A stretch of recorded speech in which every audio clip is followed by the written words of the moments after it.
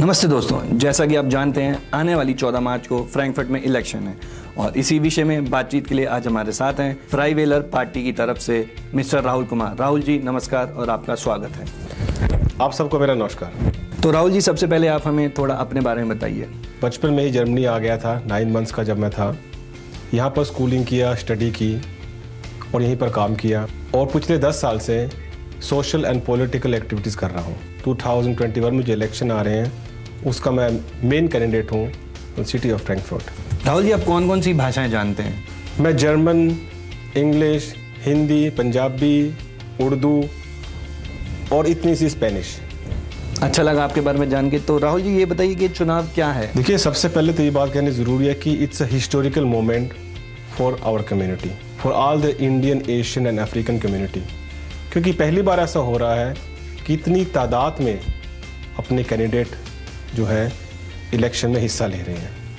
तो हमारे लिए ये बहुत गर्व की बात है कि पिछले एक साल के अंदर इतना कुछ हमने कर दिखाया। है हमारी जनता जानना चाहती है जैसे बहुत सारे इंडियंस फ़र्स्ट टाइम यहाँ आए हैं और पहली बार चुनाव के बारे में जान रहे हैं। तो आप थोड़ा उन्हें विस्तार से बताइए क्या है और कौन कौन लोग इसमें वोट दे सकते हैं?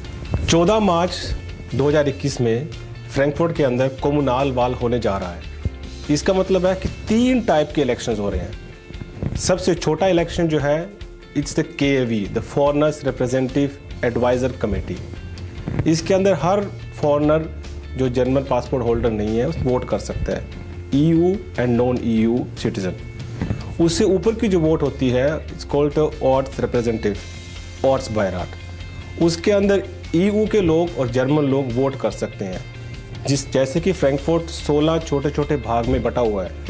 इस तरीके से अपने अपने भाग में आप एक रिप्रेजेंटेटिव को वोट डाल सकते हैं जो आने वाले कल में आपकी सहायता कर सकता है। उससे ऊपर की जो वोट है इट्स सिटी पार्लियामेंट जिसके अंदर ईयू e और जर्मन सिटीजन वोट डाल सकता है। वो लोग सिटी पार्लियामेंट में बैठते हैं और मेयर्स के साथ बैठकर नए कानून बनाते हैं और उनको लागू करते हैं। चलिए अब काम की बात पे आते हैं। आपकी पार्टी का मैनिफेस्टो क्या है? आपकी पार्टी के मुद्दे क्या है? मतलब लोग आपको वोट क्यों करें? हमारी जो पार्टी है Freie Wähler it's national political party. और हम तीनों ही भागों में इलेक्शन में भाग ले रहे हैं।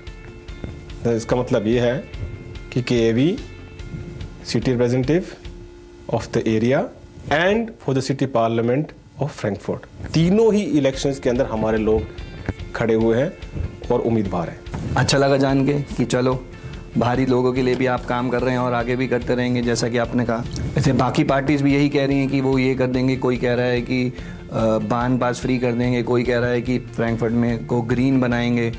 तो लोग कैसे आप पे विश्वास करें? आपकी पार्टी के भी वही मुद्दे हैं तो कैसे लोगों को आप विश्वास दिलाएँगे कि आपने जो बोला है वो आप करेंगे, वो सिर्फ़ पेपर पे नहीं है? देखिए, विश्वास तो करना पड़ेगा, क्योंकि दूसरी पार्टी ने जो वादे किए हैं, वो अब तक ऐसे ही रह गए हैं।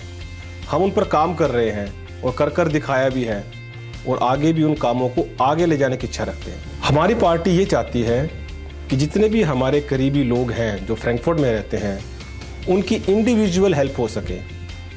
जो भी हमारे लोगों के मुद्दे हैं, चाहे वो रहने के लिए जगह हो या वो जर्मन कोर्सेज हों, और भी जो प्रॉब्लम्स हमारे लोगों को यहाँ होती है, उसको हम आने वाले कल में हल करने की पूरी पूरी कोशिश करेंगे।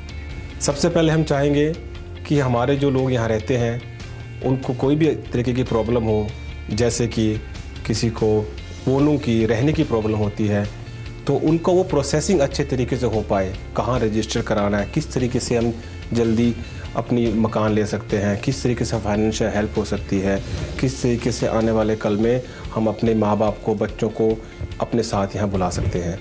उस प्रोसेस में हम हेल्प करना चाहते हैं। दूसरी बात यह है कि यहाँ रहने के लिए सबसे ज़रूरी है कम्युनिकेशन द जर्मन लैंग्वेज जब तक हम अपनी बात दूसरे को नहीं समझा पाएँगे, वो हमारी बात समझेगा नहीं, हमारी प्रॉब्लम को नहीं समझेगा। तो उसके ऊपर बहुत ज़्यादा ज़ोर दे रखा है कि जहाँ रहते हैं, उन जड़ों से अपनी पहचान करो और यहाँ की भाषा सीखो। तो फ्री जर्मन कोर्सेज की हम डिमांड कर रहे हैं ताकि हमारे लोग जर्मन सीखें और अपने मुद्दे आने वाले कल में हमें बताएँ और ख़ुद भी उनको सॉल्व करने में उनकी बहुत सारी मदद हो सकती है। तीसरा मुद्दा जो हमारा है किसी भी गवर्नमेंट ऑफ़िस में आपको जाना है या फिर कोई पेपर वर्क करना है तो वो हर लैंग्वेज में नहीं होता। तो उसमें हम पूरी हेल्प करेंगे आने वाले कल में आपकी मदद करने में। चलिए ये जान के अच्छा लगा कि आपने पहले भी लोगों के लिए बहुत कुछ किया और आगे भी करने की बहुत इच्छा रखते हैं। इसका मैं आपको एक एग्ज़ाम्पल दे सकता हूँ कि हमने पहली बार फ्रैंकफर्ट में हिंदी एंड पंजाबी जो फ्रैंकफर्ट गाइड है उसके अंदर हमने इम्प्लीमेंट किया है। इसका हमने प्रमोशन नहीं किया इसकी बहुत बड़ी मार्केटिंग नहीं की ये चीज़ हमने कर कर दिखलाई। इसको जनता खुद जाकर प्रूफ देख सकती है कि आज फ्रैंकफर्ट के गाइड में हिंदी एंड पंजाबी अवेलेबल है और आप हमारा साथ देंगे तो इस चीज़ को हम और आगे ले जा सकते हैं। डायरेक्टली लोग आपको कैसे अप्रोच कर सकते हैं? देखिए तरुण जी ज़रूर लोग हमसे अप्रोच करें। हमने पहले भी मदद की है। ज़मीन से जुड़े लोग हैं आगे भी करना चाहते हैं। Any time you can reach out to me चलिए अच्छा लगा जान के। अब आपका लोगों के लिए क्या मैसेज है? मैं ये चाहता हूँ कि इस सुनहरे मौके से हम फ़ायदा लें। जितने भी लोग ये देख रहे हैं, आगे से आगे मैसेज ज़रूर दें कि इस वक्त रजिस्टर करा के इस आने वाले चुनाव में हिस्सा लें। क्योंकि हर इंसान वोट कर सकता है और वोट हमारा हक है। उस चीज़ को हमें यूज़ करना चाहिए। तो इसलिए हम चाहते हैं कि आप वोटिंग करें और हमारी हेल्प करें, हमको सपोर्ट करें, ताकि आने वाले कल में हम आपको निराश ना करें। बल्कि आपकी मदद कर सकें। तो दोस्तों ये थे राहुल कुमार। इन्होंने बहुत अच्छे से अपनी बातों को रखा अपनी पार्टी के विषय में बताया। अब फैसला आपके हाथ में है। आप भी अपने आप को रजिस्टर कीजिए। मौका मिला है वोट ज़रूर कीजिए। बहुत बहुत धन्यवाद। धन्यवाद।